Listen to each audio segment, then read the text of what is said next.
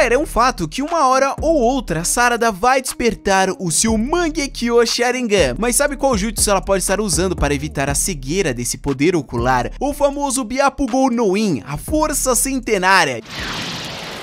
白毛の術を極めし医療忍者のみ E ela pode estar aprendendo com a Tsunade, que pode estar sendo sua próxima sensei, já que a Tsunade não vem aparecendo muito no anime. Então a Tsunade pode estar tendo um papel fundamental nos próximos episódios e vocês vão entender tudo aqui nesse vídeo e como esse jutsu funciona. Então vai deixando o seu like para dar aquela fortalecida, não esqueça o gostei e também se você for novo, se inscreva no canal para você não perder nenhum vídeo como esse aqui. Então galera, chega de enrolação e vamos direto ao vídeo!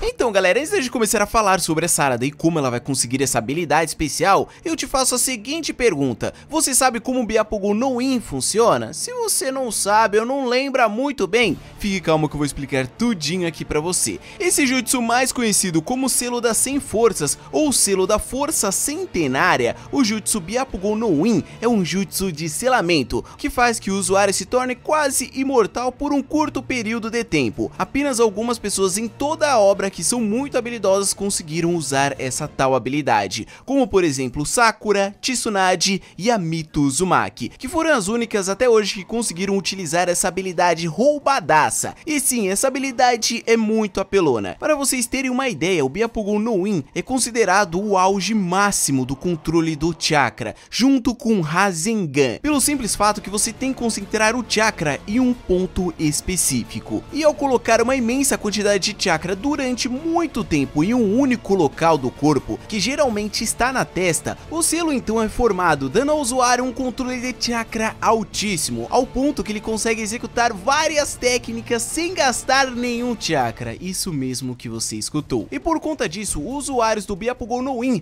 pode prolongar as suas lutas por muito mais tempo. E é aqui que a gente vê todo o potencial dessa habilidade, quando o selo é liberado e começa a manifestar todo o corpo do usuário. Dessa maneira, todo o chakra que estava armazenado é liberado, aumentando muito a força física do usuário e também aumentando o poder de todas as técnicas, ao ponto que o usuário se torna praticamente imortal, pois quando o selo é liberado, ele começa a criar novas células. E a gente viu essa reação na Tsunade, mesmo ela sendo partida ao meio, ela acabou não morrendo pela alta aceleração de novas células sendo criadas. Mas por trás de muitos benefícios, tem um ponto muito negativo atrás desse jutsu, que é nada mais e nada menos que o tempo reduzido de vida. Quanto mais o usuário usa esse jutsu, a sua vida acaba encurtando. Está vendo isto? Um dedo. É tudo que precisarei para derrotá-lo. Agora que sabemos como funciona o Byakugan no In, será que a Sarada poderia conseguir controlar todo esse poder? Então vamos lá, pra quem viu o episódio 171, viu que a Sarada conseguiu copiar o controle de chakra da sua mãe. さくらのチャクラコントロールを無理やりコピーしたのか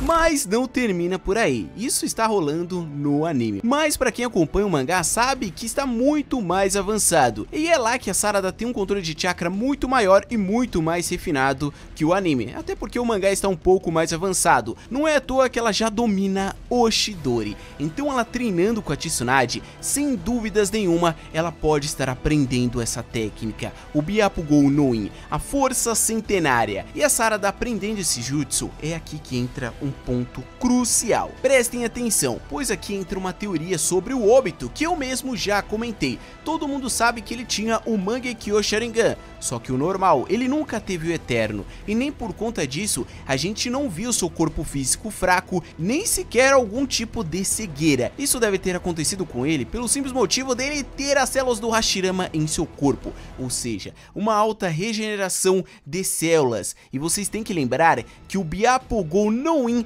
é baseado na aceleração de células do Hashirama. それが第4項のお前の術の能力というわけか柱間の能力と同じだな Então se vocês não estão entendendo, se a Sarada aprender a força centenária, é bem provável que ela consiga manter o seu Mangekyo Sharingan sem ficar cega e também sem sofrer danos físicos. E com isso ela poderia usar todo o poder do Mangekyo Sharingan e até mesmo usando o seu Susanoo sem qualquer preocupação, pois o Byakugan no estaria suprindo tudo isso, da mesma forma que aconteceu com Obito. Ele usava e abusava do Mangekyo Sharingan porque ele tinha células do Hashirama, possivelmente era isso. Então estaria acontecendo o mesmo com a Sarada, mas com a força centenária. Então dessa maneira, a Sarada não precisaria de olhos de ninguém, nem do Sasuke, nem de ninguém para ter o Eterno. Ela poderia ter o Eterno, entre aspas, através dessa técnica. Claro que o único contra é o tempo de vida que seria reduzido por conta dessa técnica. Então teria esse ponto negativo. Então a Sarada poderia estar usando o Mangekyo Sharingan, como o Sasuke acabou usando, mas ela poderia estar usando de uma maneira muito mais efetiva, pois o Sasuke logo após despertar o seu Mangekyo Sharingan,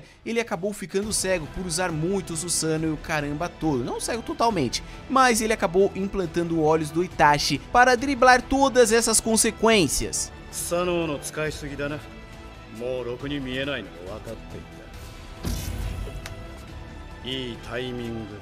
Então a maneira que a Sarada poderia estar driblando para não pegar o Mangekyo Sharingan do Sasuke é através dessa técnica. E eu acredito fortemente que ela vai aprender essa técnica sim. E pode estar sendo através da nossa tão querida Tsunade. Porque o Mangekyo Sharingan ela vai despertar e isso é um fato. E ela já mostrou estar muito interessada no anime. A única dúvida que seria, ela vai ter o Byakugo no In?